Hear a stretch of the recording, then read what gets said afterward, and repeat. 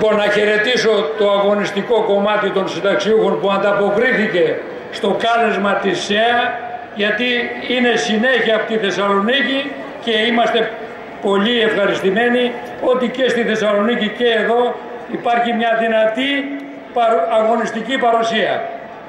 Στις 15 του Νοέμβρη του 2018 ήρθε και το πολυπόθητο για την κυβέρνηση Χαμπέρι από τις Βρυξέλλες. Έγινε δεκτή η εισήγηση για την κατάργηση της περικοπών των συντάξεων, είπαν κύκλοι του Υπουργείου Οικονομικών. Αλλά οι ίδιοι κύκλοι κράτησαν και την πισινή. Η τελική απόφαση αναμένεται στο Ευρωγκρουπ της 3 Δεκέμβρη του 2018.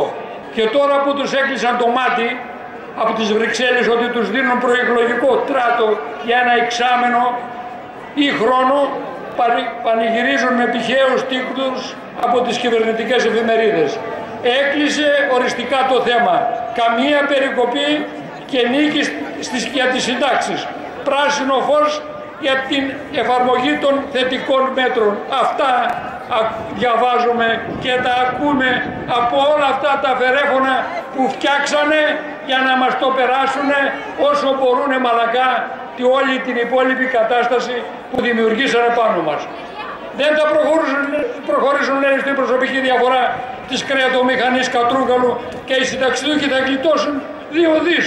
Δεν λένε όμως πόσα πήρανε και επειδή γίνεται κουβέντα για την αναθεώρηση του συντάγματος Μήπως ακούσατε τίποτε για την επαναφορά της προστασίας των συντάξεων από το Σύνταγμα που καταργήθηκε με μια μονοκοντιλιά το 12.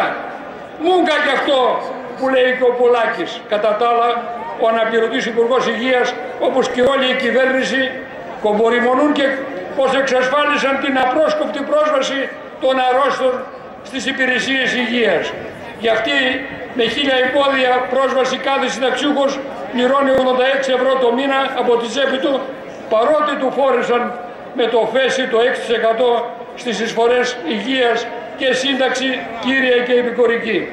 Το 2017 οι ηλικιωμένοι πάνω από 65 χρονών πλήρωσαν από τη τσέπη τους το 47% από τα 5 δισεκατομμύρια που πλήρωσαν συνολικά τα λαϊκά στρώματα για την ιατροφαρμακευτική περίθαλψη σε ιδιωτικές και δημόσιες δομές υγείας.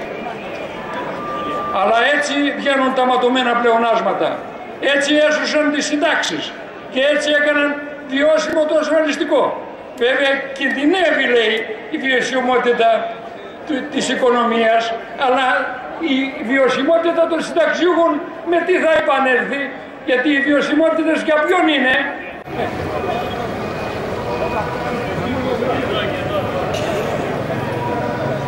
Bye.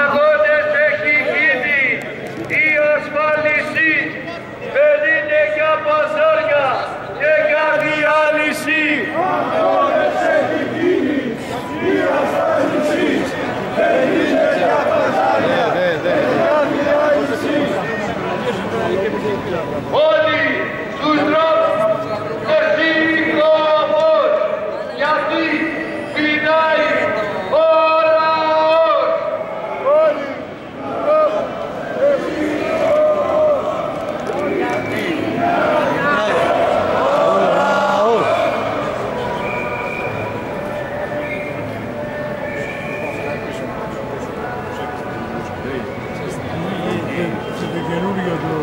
Thank you.